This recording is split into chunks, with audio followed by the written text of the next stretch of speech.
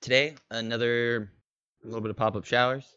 Uh, gonna see a nice end of the week into the Memorial Day weekend. A little bit of chance of rain on Sunday, just a little bit for your Labor Day weekend, and Monday gonna be nice.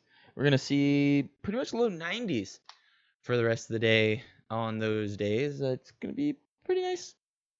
Pretty nice week. Now, I know I'm being short, I'm being brief, I'm being sweet, because you know everyone's like, Jay, why have you not talked about the National Day for this Wednesday?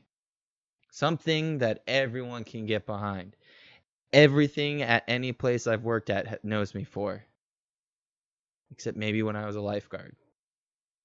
Back in the long, long past of the free living Jay Martin. Anyway, I know. Everyone's like, well, what is it? You could look it up. You could watch any of my shows. You could have come to any of my places of employment to figure it out. Anyone you talk to, family, friends, strangers that have seen me at work, will tell you it's National Bow Tie Day. And I know what you're thinking. Jay, why aren't you wearing your bow tie? Well, I've decided to now I can't even I can't even say it. I was gonna make a joke saying I'm never gonna wear bow ties ever again, but that's just ludicrous.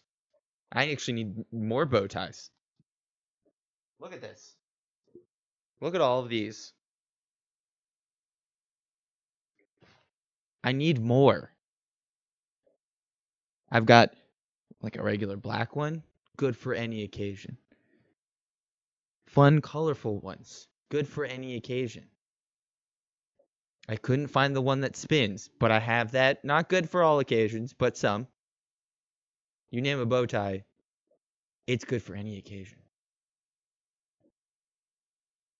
I've had so many fun stories because of bow ties. I've got wooden bow ties. I need more wooden bow ties. I need more regular bow ties. I just need more. But I guess that's why we work, huh? Just to fulfill my bow tie needs.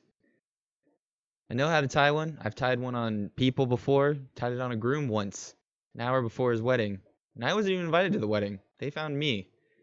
That was fun. But anyway, try it out. They're fun. It is.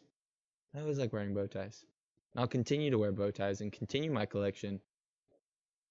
So, for National Bow Tie Day, pretty nice out there. Any of these bow ties would do for those occasions. For this nice upcoming Labor Day weekend. So maybe sport a bow tie today. Maybe tomorrow. Maybe I'll set the world record to see how many bow ties I can tie on myself. Who knows? The future's unpredictable. But isn't what isn't unpredictable is having a nice weekend coming up, me wearing a bow tie, and you having a great day and a better tomorrow.